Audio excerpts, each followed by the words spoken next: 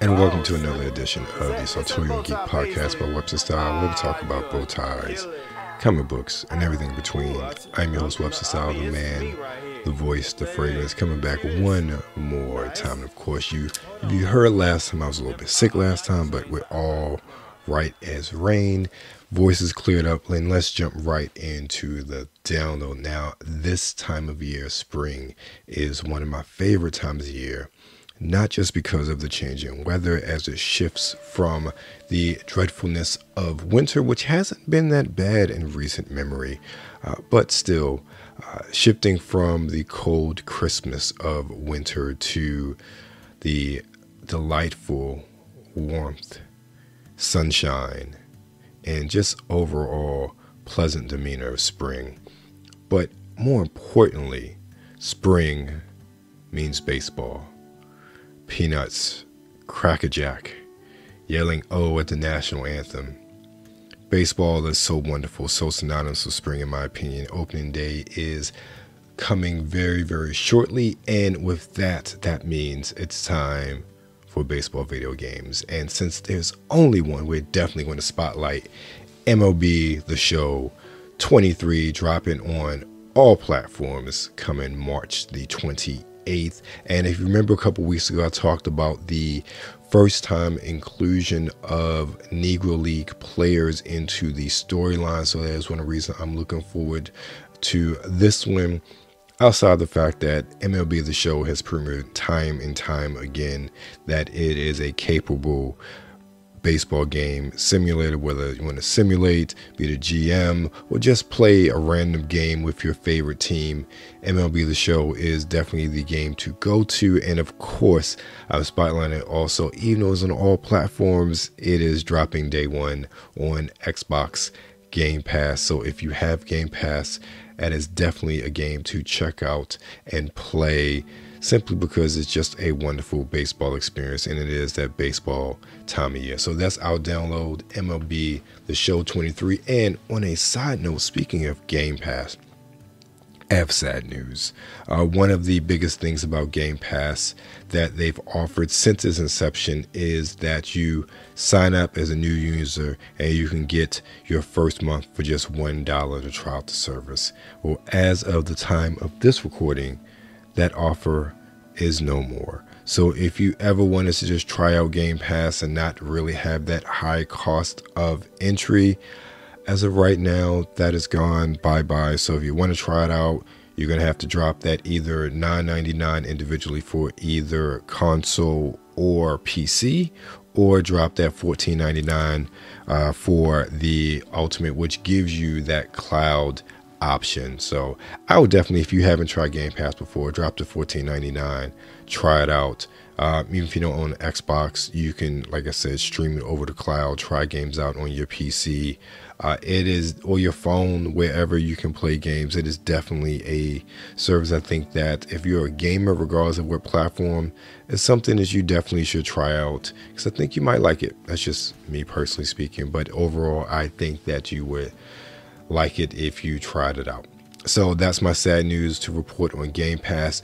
No short takes this week. There are a bunch of trailers, but at the time, nothing really struck me to want to talk about uh, this week, especially moving into the backlog we have with checking or trekking out, uh, looking at Picard season three, episodes four through six. Um, overall, I am loving this story. I am I'm loving how they are getting the band back together uh, little by little and incorporating the next gen characters into the story.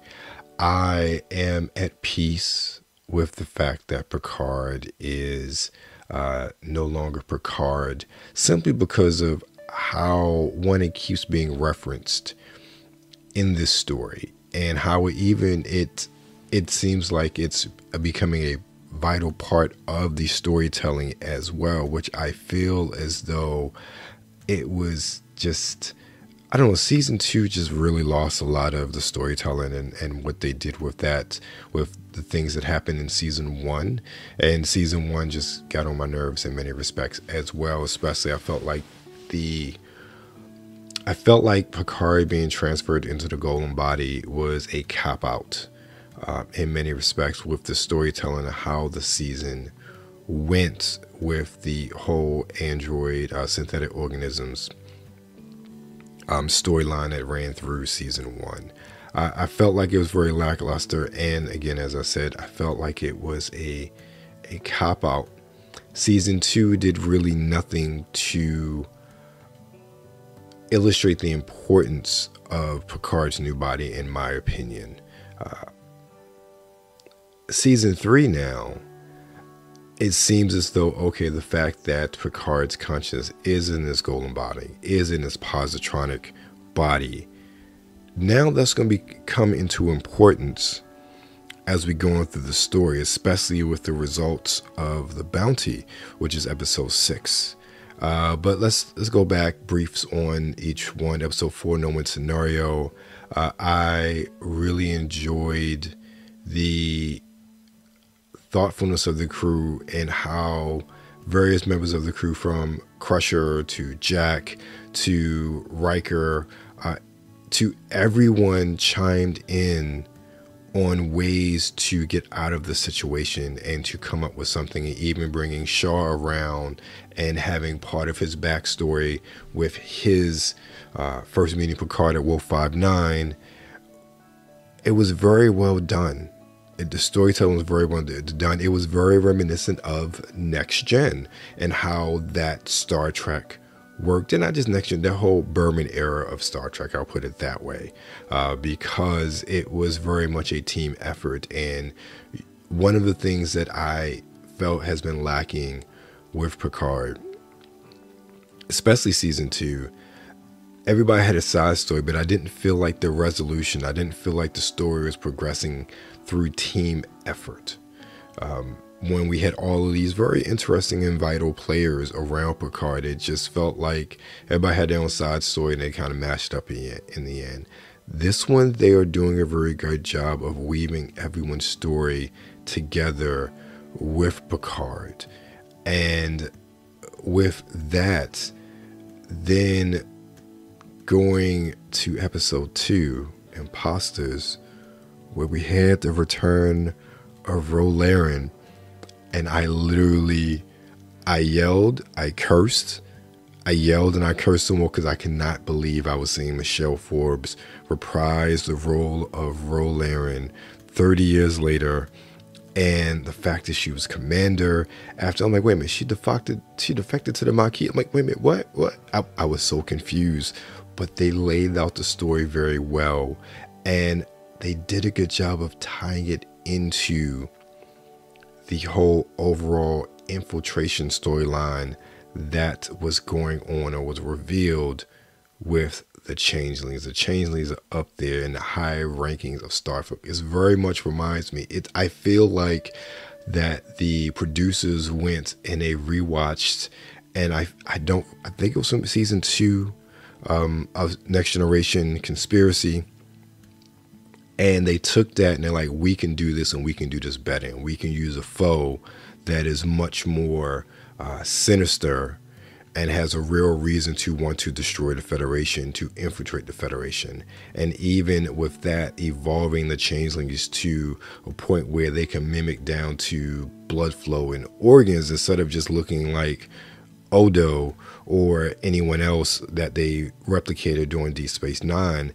I find it interesting, and also it's a very natural evolution of the species, in my opinion. Because you remember with Odo, it was he looked that form because he had a very hard time mimicking certain features on a lot of species.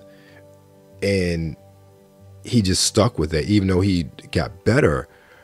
It was one of those things where, okay, this was something 30 years ago, and now the species has evolved to be able to replicate down to the organ level. And then to retain that even in death instead of just going back into the ooze. Now, one of the things I didn't like, I felt like when they turned into the ooze, they made it look more like the blob um, instead of just sort of, I don't know, a benign sort of uh, liquid goo creature as they did in Deep Space Nine. But I understand, you know, bigger budget, you get to do different things, and that's totally understandable. But I really enjoyed that. And then going to uh, Ro was there for one episode, spoilers alert, and they blew her up. But even how they did it in the story to set up the bounty and to set up the chase that then commenced with all the Starfleet chasing after the rest of the crew of the Titan in the bounty and bringing in LaForge and his other daughter and going to Daystrom and bringing back data or I was I was nervous about this when I when Brent Spiner was coming back because they they've effectively killed Data twice in season one and season two, and I don't I didn't understand how they were doing this, but I will say I like how they brought back Brent Spiner because Brent Spiner is not really Data.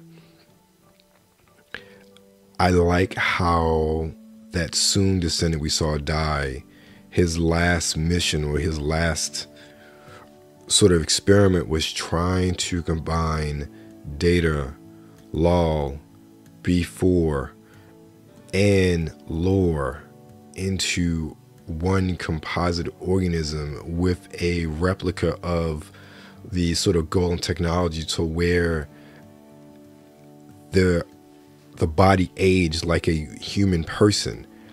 I thought that was a very ingenious idea of bringing Brent Spiner back and he's data, but he's not data. He's everybody. And even using him as the AI for the Daystrom computer, which brought us Moriarty and had that great flashback to um, Encounter at Farpoint with Riker. They are just hitting every there there is nothing I don't like about any of these episodes. There's nothing I don't like about the season so far even with Riker getting captured and then um, Vadic capturing Deanna, like that is I really enjoy even the moment with with Seven and, and, and Jack and you see her reminiscing about Voyager. This series so far has just been knocking every episode out of the park this whole season and I can't believe we're more than halfway done it has just been a as a Star Trek fan, as someone who became a fan fan, a Trekkie because of Next Generation. Like I like Star Trek, the original series growing up. But when Next Gen came out, that was my Trek. Next Gen, Deep Space Nine, Voyager. That's the Trek I grew up with. And this series has been such a love letter to us while not destroying the legacy of Star Trek or even, you know, saying anything else that Star Trek isn't Star Trek. It's just been a wonderful ride, and I can't wait and to see how this season ends. And there's so much really yet to be revealed, and with only four episodes left, I'm hoping the storytelling doesn't suffer because of the breakneck pace. They may have to uh, utilize utilized in in in order to move the story along over the next few episodes. So that's my take on Picard episodes four, five, and six. No Win scenario, imposters, and the bounty. We're gonna take a break and then come back, and we're gonna talk with Rob Kessler of Go Tieless for the Sartorial Slice to talk about his beautiful invention to keep your collars crisp and neat, even without a tie. What's going on, everybody? It's Webster out here, the man, the voice of fragrance. We're here with Mr. Rob Kessler from Go Tieless, and he has a, a great variety of male style products, which I've actually purchased now that I've discovered them.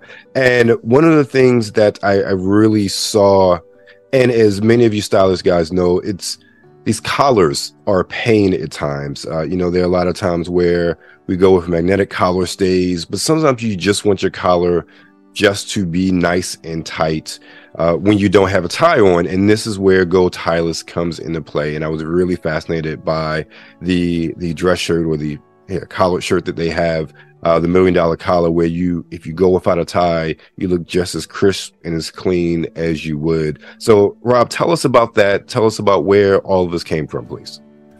Yeah, absolutely. Um, so the idea came from my wedding. If you looked over my shoulder here, uh, before I could even say I do, we got married on the beach in Jamaica. You know, toes in the sand, super chill. I hate wearing ties, and my shirt was just collapsed. It, it looked terrible. And what turns out, uh, I came home from the wedding, did a bunch of research. There is so much weight in the collar itself. There's just so much material up there that it collapses the placket of the shirt. And the placket is that part just below with the buttons and the holes. And so I took the idea of a collar stay, I made it nine inches long, and I shoved it down the front of the shirt. And so my product, Million Dollar Collar, is actually what I would call a placket stay. So it goes down the front and gives some weight and some structure to that front of the shirt so that the collar doesn't collapse the placket. So you can wear a dress shirt without a tie all day long. It'll look great. You know, you know when you starch a shirt, you know, a couple hours later, it's it's right. sagging and you're adjusting your collar all day long, trying to get that placket to look right. Million Dollar Collar does that all day long. And so we started with that product, which can be added to any dress shirt you already own. Simply take it to a tailor or a dry cleaner that does alterations. It's a very, very simple one inch uh, hem that they open, slide it in, it goes in, it lasts the life of the shirt. Or we have our own shirts now called Go Tieless, like you mentioned, million dollar collar built in. We took that same shirt that I wore at my wedding, which is the number one selling shirt in America. We made the fabric better, which is this buttery, soft, bamboo stretch, wrinkle resistant fabric. It's amazing. Uh, we've got a convertible cuff. You know, you said you got all these cufflinks at home. Right. These shirts actually have a buttonhole in between the buttons. Okay. So you could wear cufflinks or not.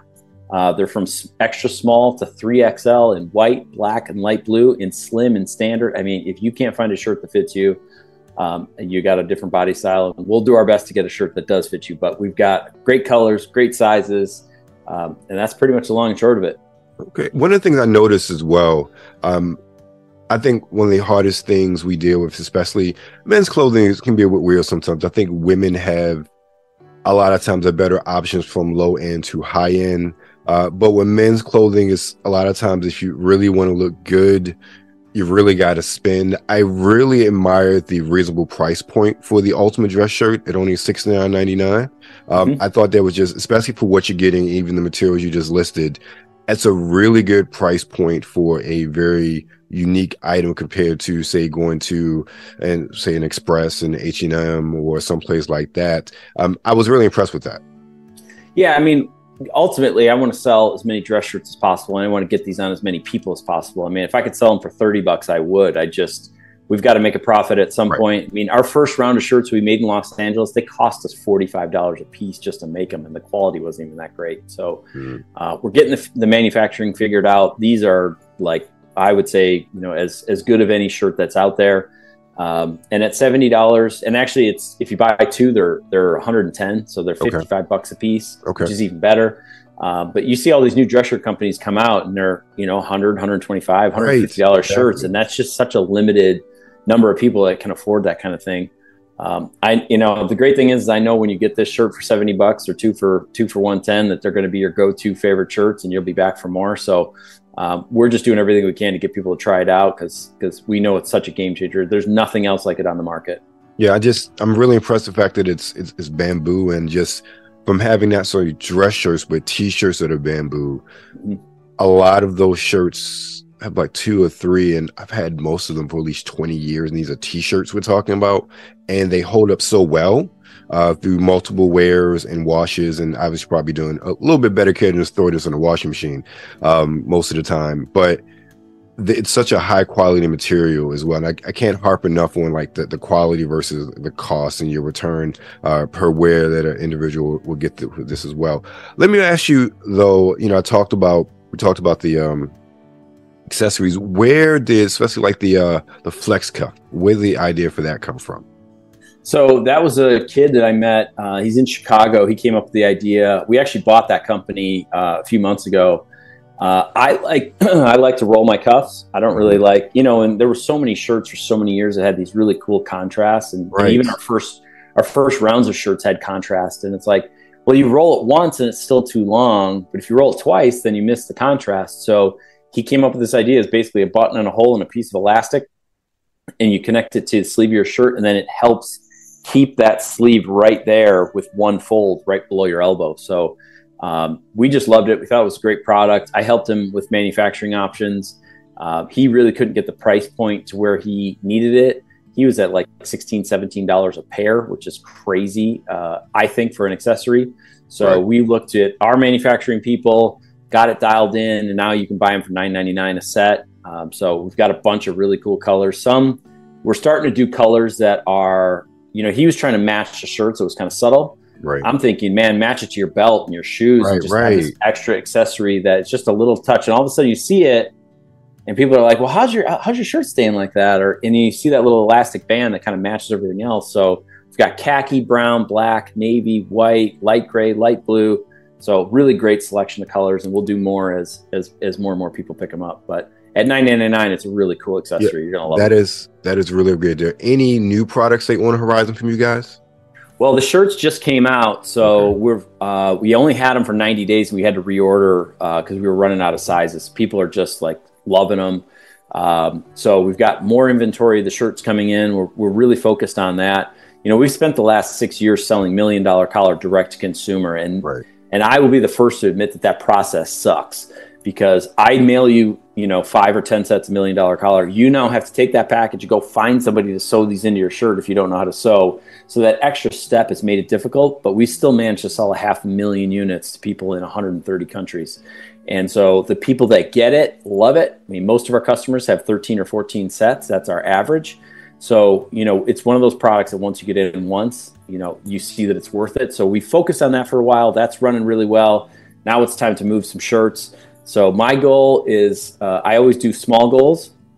So my goal is a thousand shirts. Mm-hmm. And so first it's let's sell the first thousand. Then I want to do a thousand in a month and a thousand in a week and a thousand in a day. I mean, a thousand shirts a day at 70 bucks you do the math. We got a pretty good company at that point. You know, it's interesting. I just realized I remember. I think I came across the individual million dollar collar a couple years ago. Now that I think about it, as I started all of this, and I, I, didn't even put two and two together until just now. I was like, oh, that's right. I do remember. So I'll say this I'm really impressed and I congratulate you on the success and the growth over the past few years. I'm like, this is this is really awesome and amazing. Yeah, you know what? It's um, when you're passionate about what you're doing, it's it's easier to keep going. I mean, if you're just chasing the dollar, it's easy to say, "Well, that's not working, and I'm not making any money. I'll go find something else." But I've known for a long time. I mean, I never thought I was going to change the dress shirt industry. Now I am dead set on changing the dress shirt industry, and so the reason we're making shirts is because we've tried licensing this, and these big brands are like, "Ah, I don't know if it's worth it. I don't know if my customer cares." I'm like we got a half million units and a proven product. I know that they care. Right. They still won't make that switch. So I said, fine, I'll make a dress shirt. I'll put it into a manufacturer that's going to have to pay attention to me at some point. And so we're building a brand around the technology that I believe and have committed my whole life to. So, um, you know, it's going really well. We're really excited and uh, just nothing but good things to come, hopefully. Awesome. I, I, really enjoyed that. Um, so I'm trying to think, is there anything else? Because we, pretty much ran through all the products here. Um, oh, I'm sorry. You six years. So let me ask you a question. What kind of, I guess, what were some of the major bumps that you experienced as you grew your company? Well, I mean, the biggest one is the word no, which I've heard 10,000 times. Um, but, you know, I always look at products you know, I've grown four companies from nothing to a million in revenue. It started from absolutely zero, totally bootstrapped. Uh, Go Tieless would be my fifth. And I always look at it from the customer's perspective. How do I make it easier? How to make it a good buying experience? Um, so came out with Million Dollar Collar. It was originally going to be a shirt. We didn't get funded on our Kickstarter. So then we went to this aftermarket idea because everybody on Kickstarter who was willing to give us money and we really listened to their feedback said, why compete with all the other brands and why can't I upgrade the shirts I already own? So we made this aftermarket version. Um, a lot of people, you know, you get these dumb comments. Oh, too bad. Why has it got to be sewn in? I'm not cutting my shirt open. It's like both sides of the placket are visible. So what are you going to do? Put a like a clear one on? Remember, remember, girls in the '90s had those clear bra straps. They weren't right. clear. You, you, you knew exactly what was happening. It's just going right. to look terrible. It's so it really is the easiest, simplest, least expensive way. I mean, you said before about the average cost per wear. Look, if you wear the shirt 30 or 40 times, on a two dollar product that costs ten dollars to install, it costs thirty cents every time you wear it. If you exactly. average it out over the life of the shirt, because it if it's done right and it's put in, it lasts forever. So, right. you know, it it the product is has been a challenge. There's I have never been able to say, here's how you sell a product that needs to be bought somewhere and taken somewhere else to use. I mean, there's just nothing like it. So it's always we've kind of paved our own path, but you know, we did this the aftermarket. I bought I buy wholesale shirts and then install million dollar collar and sell Tommy Hilfiger and you know all these brands, Calvin Klein, all these brands that you already know. I have those shirts in stock that you can buy if you already know your size and say, well, I don't want to do that. I'll buy a shirt that's already done and try it that way. So we have that. We have a VIP mail-in service. So if you want to send me five to fifteen shirts, we'll take your shirts in, upgrade them, and then mail them back to you. We have that. So there's no way for somebody to say no. I mean, that's my my old goal is always to say, if you won't do it this way, how about this way? If you won't do it that way, how about this way? And try to get a guy to say yes. Choice. I like that. I really like that. Well, Rob, I want to thank you for your time. I'm I'm impressed. I'm amazed, and I'm definitely going to buy some more in the near future. I like that VIP service. I'm like, I can def I definitely have some shirts I can uh utilize that service for. I appreciate it. Yeah, so. yeah, that's good. I mean, look, and if you like wearing a tie, this shirt is great for that too. You know, you always kind of get that gap between the first yes. and second button. With yes. this extra rigidity in here, that gap goes away. And then, you know, if you finish the day of work and you want to go out and have a drink and take the tie off and, you know, chill out, boom, you got a great looking shirt and it'll last all night long. Right, exactly. Now, Rob, tell everyone where they can find your products. Best place is gotieless.com uh, or milliondollarcollar.com. But Go Tieless is where the focus is. That's where the shirts are. Uh, we've got you know flex cuff and and cuff adapters there, and um, and million dollar collars. So you can buy everything right at gotieless.com. Thank you, Rob. I appreciate you for your time, man. Absolutely, man. Thank you so much. Thank you. I really enjoyed my conversation with Rob, especially learning a bit more product that I did not remember that I'd seen before years ago. I believe it was um, Antonio from Real Men Real Style who used to have a sponsorship deal with uh, the Million Dollar Collar. This is before they, I won't say transition, but evolved into Go Tieless of actually selling these shirts with the placards built in. So it was, it was really neat having that epiphany mid conversation uh, with Robin. Also, I alluded to purchasing. I ended up purchasing. They have what they call cuff adapters by Cuff Style. This literally these little devices allow you to wear cufflinks on shirts that are not French cuff shirts. And I actually am wearing uh, some cufflinks with a, a, shirt today, and I really love it. But I'll give you more about those next week. Let's get into the fragrances of the week. And this week, we're talking about Deez Nutz. That's right, ladies and gentlemen. Deez Nutz is a fragrance of the week. Now, this is another fragrance from my signature scent. I talked about them a while ago when I purchased the sample of HNIC. Uh, this one retails for 50 bucks for a 15 ml bottle, and I sampled this at the uh, Black American Mall in the uh, Potomac Mills Mall in the Woodbridge, Virginia area. So if you're local or in the area, or if you're from the DMV and you know you guys go down to Potomac Mills to do outlet shopping, stop by, check it out. Let me know what you think. So this one you can find notes of pine, cannabis, and almonds, hence the Deez Nutz uh, moniker of the fragrance. Now, at my initial spray and smelling, I got a very bright gingery ish or gingery like opening with that combination of the almonds and the pine. For me, the almonds kind of mellowed out, and the pine really started to mix with the earthiness of the cannabis. I enjoyed the fragrance, it was unique. One of the things that I've enjoyed so far about the fragrances from my signature scent is that except for one, which it's supposed to smell like something else, uh, all the fragrances to my nose smell very different than anything I've smelled before. Um, especially even le- looking at the note breakdowns, even with this one with the uh, pine and the cannabis and the almonds, those aren't notes that I have encountered before. And I say they don't exist somewhere out in the fragrance world, but these are just notes that I have not encountered mixed together before. Um, I really enjoyed the fragrance. I am probably going to pick up uh, at least a sample just to give it a full wear to see how it really works on my skin.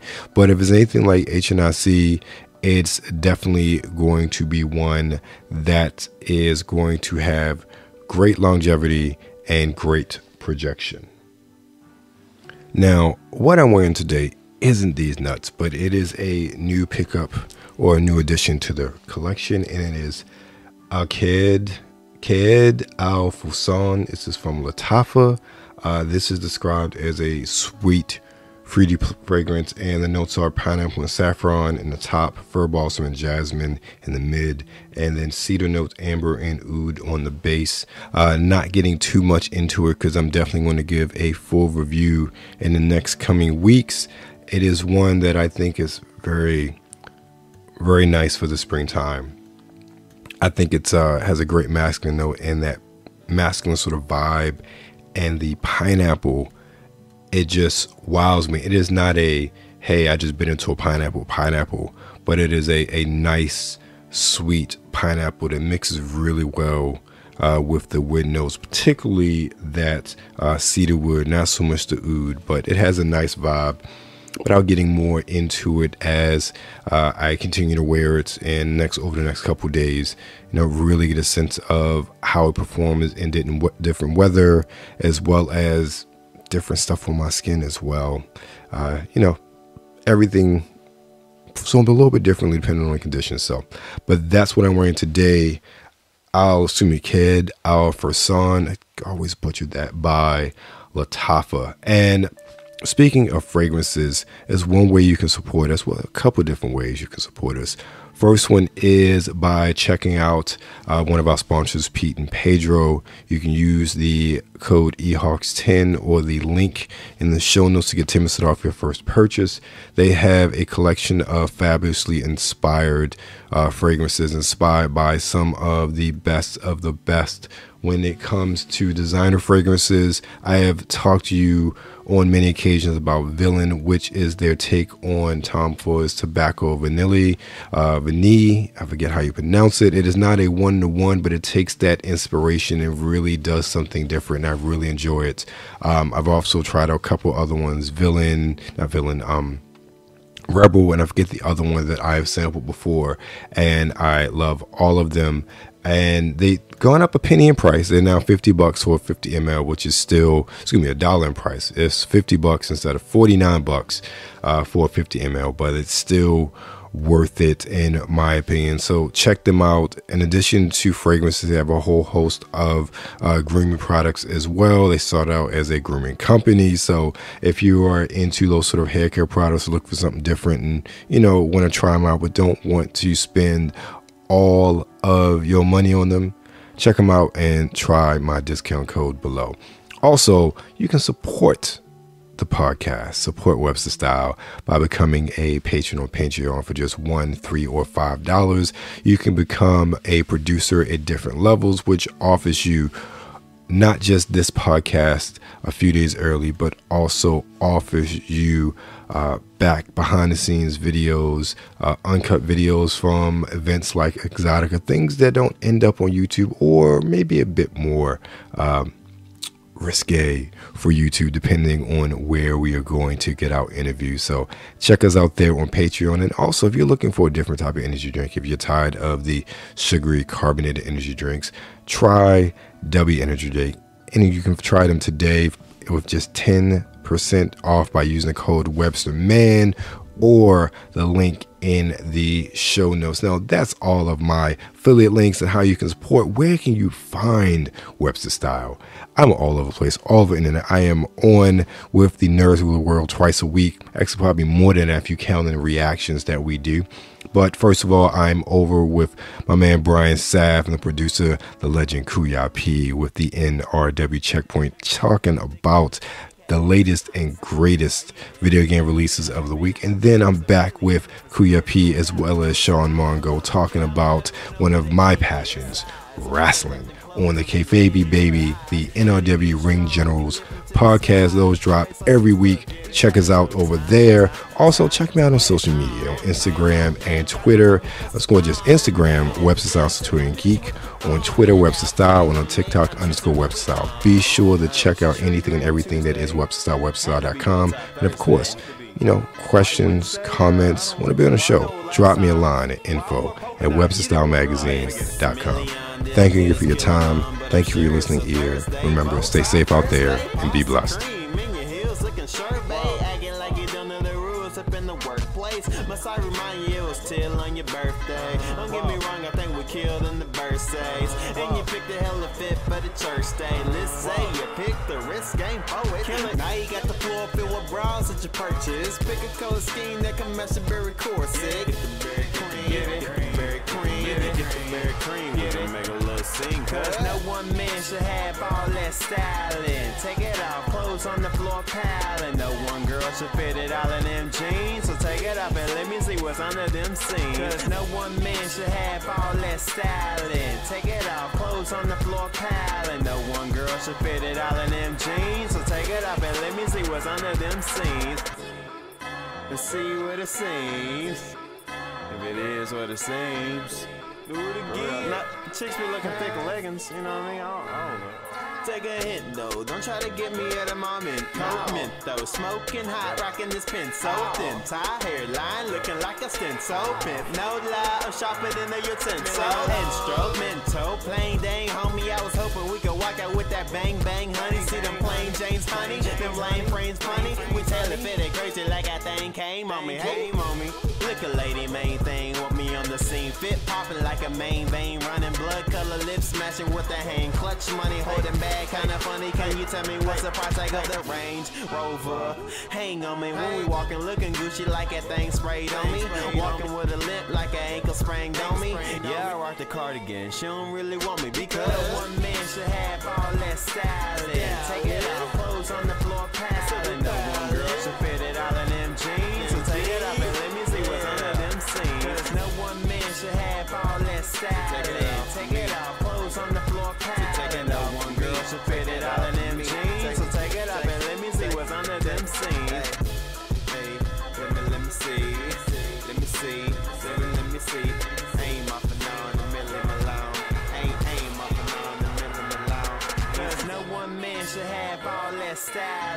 Take it off, clothes on the floor piling. No one girl should fit it all in them jeans. So take it off and let me see what's under them seams. Oh, you want to? Oh, I completely read that wrong.